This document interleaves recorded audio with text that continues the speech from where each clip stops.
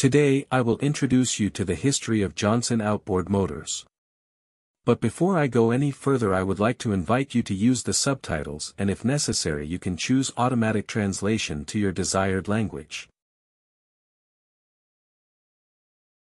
This is a story that will reveal to you the successes in air, water and land of the Johnson brothers. Before I take you back in time, I want to draw your attention to the fact that behind this brand sits years of development, testing, and numerous successes. From now on, every time you pull the rope or turn the ignition key, you'll be proud of your outboard's history. The original company that made Johnson inboard motors and outboard motors was the Johnson Brothers Motor Company of Terre Haute, Indiana, United States. Lou Johnson was the oldest of seven children born to Soren and Bertha Johnson. Lou was described as a natural leader and an innovator. Like Ole Evinrude, Lou Johnson conceived of the idea for a motor one hot day in 1903 when he had to row his 18-foot boat, 10 miles upstream to harvest walnuts. During this time, other inventors had similar visions and were working to develop outboards. The French-manufactured Motogodille appeared about 1904, the Waterman, Evinrude, Lockwood, Koban, and Caille Motors, all competing designs. Lou's first engine was a single-cylinder, two-stroke, three-horsepower monster, weighing in at 150 pounds.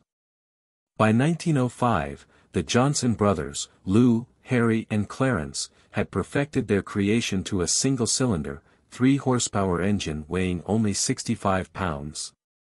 With an interest in speed, the brothers expanded to both two- and four-cylinder inline models and tested them in the Black Demon, a 26-foot boat. While marine engines were the main focus of the Johnson brothers, they also developed an aircraft motor. The lightweight V4, two-cycle motor produced 60 horsepower. Since the Johnsons had no aircraft on which to test the motor, they decided to build one. In 1910, Seven years after the flight of Orville and Wilbur Wright, the Johnson brothers built the first American monoplane to actually take flight. Never having seen one, they constructed it from an article in a flight magazine.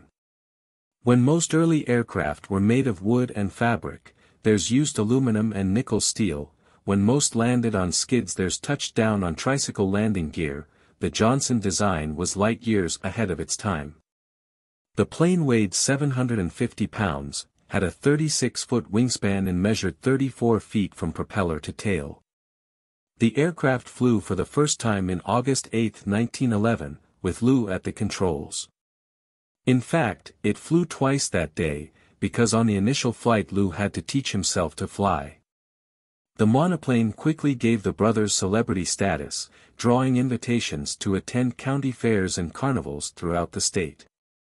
Visitors paid 25 cents to take a look at the machine.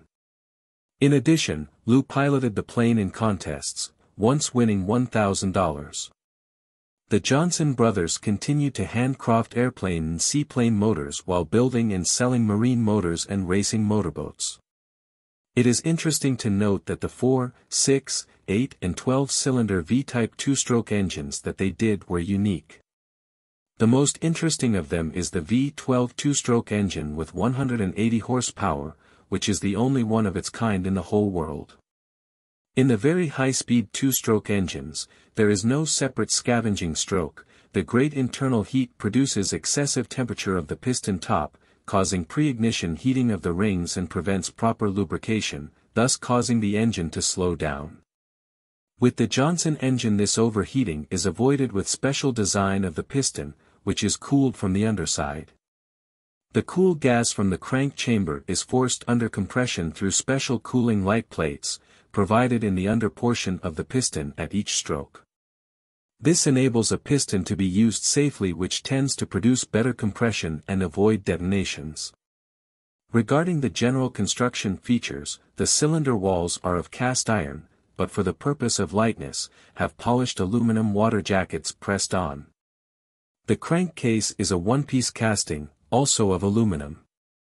The crankshaft is of Krupp's chrome nickel steel, heat-treated and the bearings are made of phosphorus bronze. For synchronized carburetors provided the fuel and two Bosch magnetos spark for the spark plugs. It is interesting to note that a similar engine design was used in the aircraft engines produced by the Johnson brothers. This is a unique piece of craftsmanship for its time, and looking at it from today's point of view, making such a motor would be difficult for many companies. Two of these motors with a total power of 360 horsepower were installed on the Black Demon 3 boat. The last information I found about the boat, is from the January 1935, at Motor Boating magazine where on page 128, shows an advertisement for the Black Demon for sale. After that, the traces are lost in time. Sadly up to this moment it is unknown, what happened to the boat and whether any of the engine has survived over the years. In this time the Johnsons needed investors to finance production of the aircraft. Unfortunately, this was not to become a reality because financiers saw no commercial value in the small plane, even though it flew for three years without a crash. Additionally, World War I was starting to raise its ugly head so necessary Bosch magnetos made in Germany, became unavailable. Then on Easter Sunday of 1913 tragedy struck in the form of a tornado that ripped the Johnson factory from its foundation, destroying everything within. Because the family had no insurance, rebuilding was out of the question. Instead the brothers conceived of a new invention, a motor to propel a bicycle.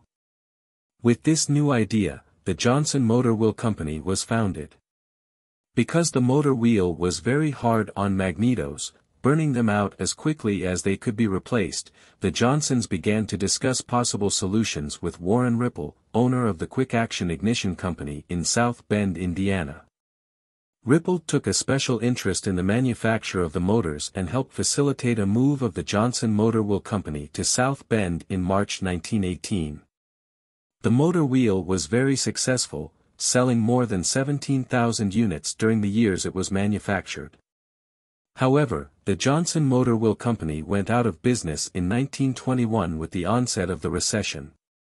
Coming off of this recent disappointment, the Johnson brothers began to look again at the marine industry. The first prototype outboard motor was tested in the spring of 1921 in a lightweight boat built by Warren Conover. The test was successful and the Johnson Motor Company was incorporated one month later in South Bend, Indiana.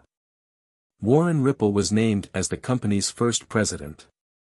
The first Johnson outboard motor was produced on December 19, 1921. The 2-horsepower twin engine was made largely of aluminum alloys, weighed only 35 pounds and featured a full pivot reverse. In 1922, the Johnson brothers purchased a license from the Hult brothers of the Pentaverken company in Skövde, Sweden to use one of their patented inventions for outboard motors on the Johnson outboards. In that same year, Johnson introduced the light twin and the water bug. Both designs won recognition in the National Motor Boat Show that year and the company received orders for 3,429 units. Each unit sold for $140. The following year, orders reached 7,000 units. As Johnson Motor Company began to win acclaim and market share, other companies such as Evinrude, Elto, Lockwood and Caille Outboard Motors began to feel the pressure.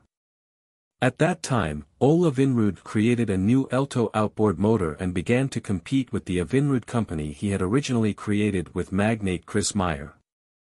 Each of these brands is fighting for its marketplace, but some of them will disappear over time and others will become part of the created Outboard Motors Corporation, OMC.